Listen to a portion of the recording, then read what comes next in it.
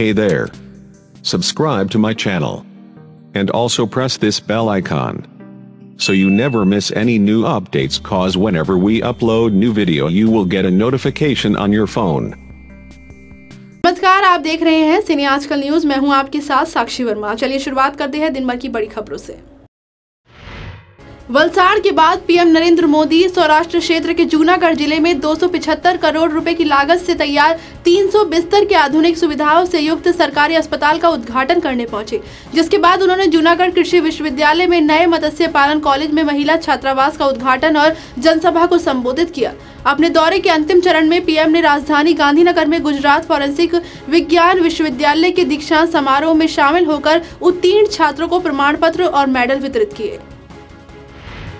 देश के प्रधानमंत्री नरेंद्र मोदी आज अपने गृह राज्य गुजरात के एक दिवसीय दौरे पर हैं।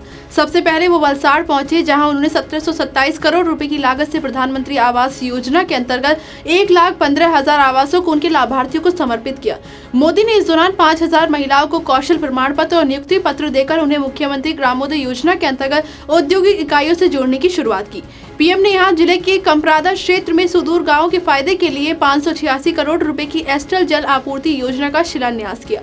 वलसाड़ में रैली को संबोधित करते हुए पीएम ने कहा कि रक्षाबंधन से पहले एक लाख से अधिक बहनों को उनके घर मिले। इससे बड़ा तोहफा कोई और नहीं हो सकता। मैं आपको घर देकर एक भाई के रूप में बहुत गर्वित महसूस कर रहा हूँ। जम्मू कश्मीर में बिगड़े हालात के बीच श्रीनगर में सत्यपाल मलिक ने राज्यपाल के पद की शपथ ली।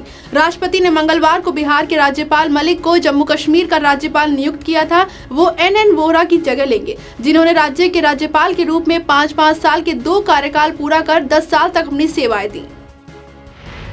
राहुल गांधी के एक बार फिर विदेशी धरती से प्रधानमंत्री नरेंद्र मोदी पर वार करने पर सत्तारूढ़ बीजेपी ने कड़ी प्रतिक्रिया व्यक्त की है। बीजेपी प्रवक्ता संबित पात्रा ने कहा कि राहुल ने कल जिस अंतर्राष्ट्रीय मंच से आतंकवाद को सही ठहराने को जायज़ ठहराने की कोशिश की, उससे खराब और कुछ नहीं हो सकता।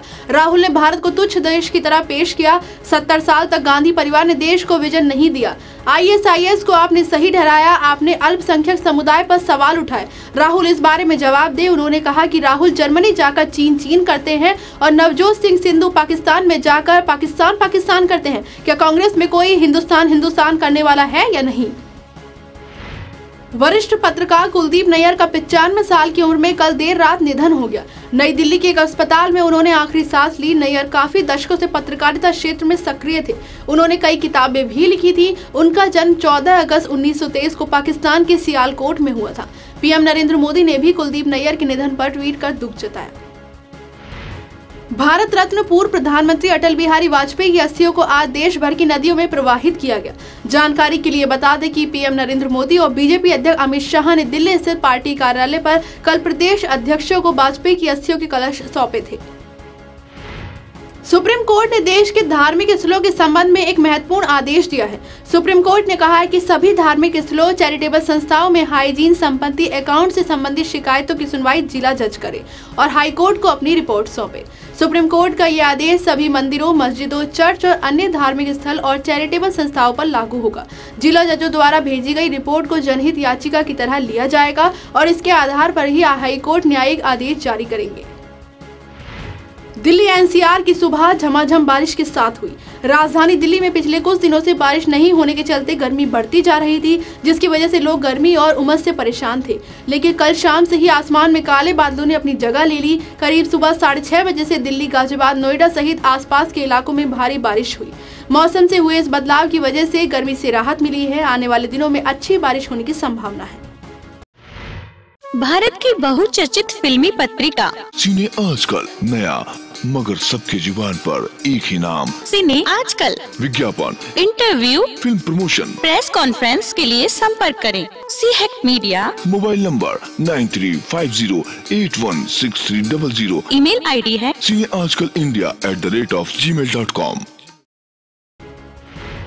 BSF ने गृह मंत्रालय को भेजी गई एक रिपोर्ट में कहा है कि पाकिस्तान भारत से सटे अपने सीमावर्ती इलाकों में अपनी रक्षा तैयारियों को मज़बूत करने में लगा हुआ है।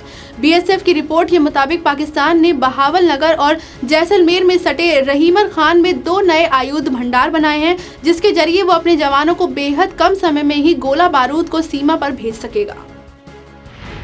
पाकिस्तान में नई सरकार बनने के बाद सभी की नज़रें इस बात पर है कि अब भारत पाकिस्तान के रिश्ते किस तरह आगे बढ़ेंगे। इन अटकलों के बीच चीन ने कहा है कि वे भारत और पाकिस्तान के बीच संबंधों को सहज बनाने के लिए रचनात्मक भूमिका निभाने को तैयार है। चीन के द्विपक्षीय संबंधों को बेहतर बनाने को लेकर प्रधानमंत्री नरेंद्र मोदी और उनके पाकिस्तानी समकक्ष इमरान खान की सकारात्मक टिप्पणियों का भी स्वागत किया गया है।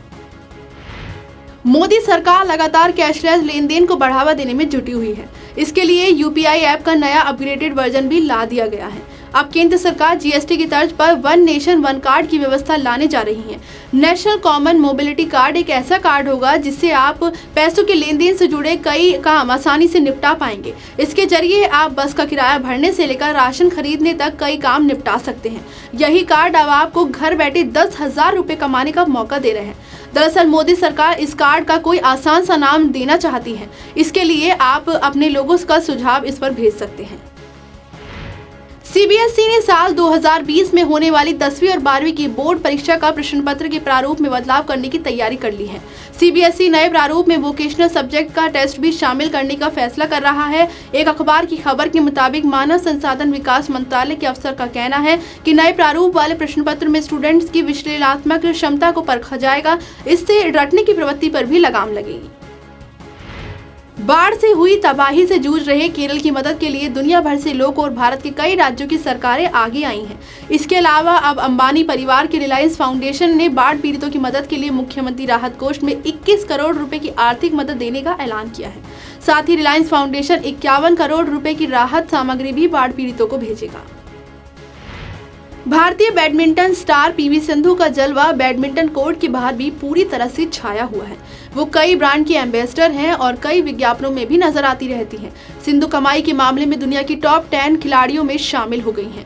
रियो ओलंपिक में सिल्वर मेडल जीतने वाली सिंधु की सालाना कमाई उनसठ करोड़ रुपए है। फॉर्ब्स की सबसे ज़्यादा कमाई करने वाली महिला एथलीट की लिस्ट में सिंधु सातवें नंबर पर है।